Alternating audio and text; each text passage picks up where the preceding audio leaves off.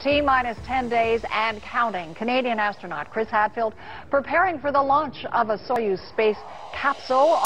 Canadian astronaut Chris Hadfield. Importance of Commander Hadfield's mission. Canadien Chris Hadfield et David Saint-Jacques.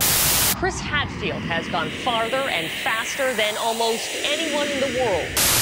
The first Canadian astronaut to command the International Space Station. Chris Hadfield is currently training in Russia for that next mission. First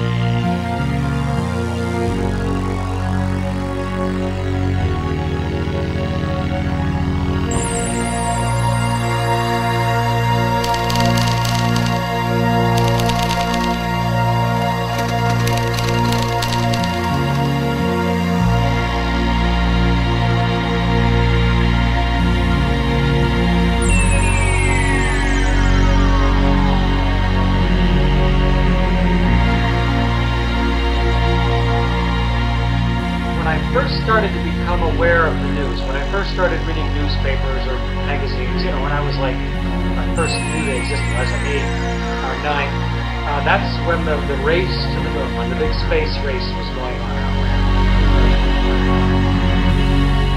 I got to stay up late at night and watch Neil and Buzz walk on the moon. It's one small step for man, one giant leap for mankind. Decided that is what I want to do when I grow up.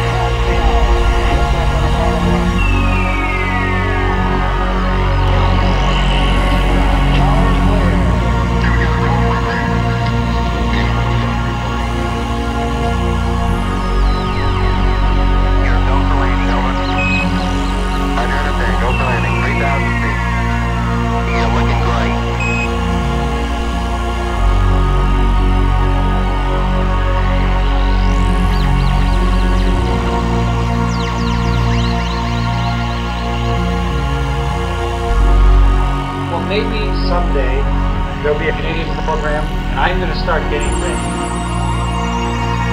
So I joined Air Cadets. I uh, learned to fly. I learned to speak languages. I learned to scuba dive. Um, I took courses in high school. Um, I went to two different universities. So I joined the Air Force. I flew fighters.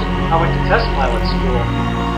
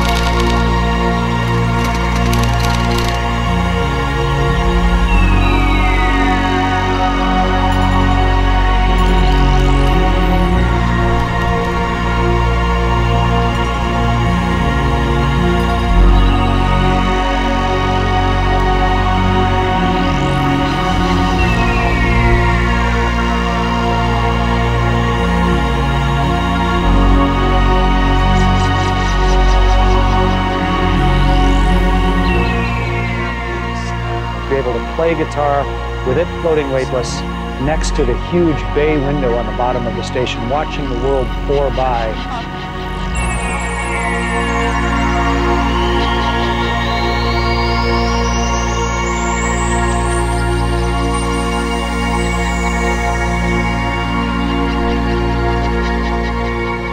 The next decision you make, what you do tonight what show you watch on TV, or what book you read, or, or whether you exercise, or, or whether you don't, or what food you eat, you are just turning yourself into the person you're going to be tomorrow.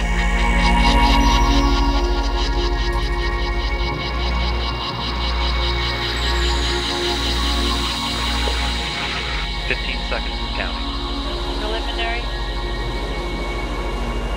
Preliminary command confirmed. Engines firing. Main liftoff. Five, four, three, two, one, and liftoff of Tom Marshburn, Roman Romanenko, and Chris Hadfield, making their way towards the International Space Station.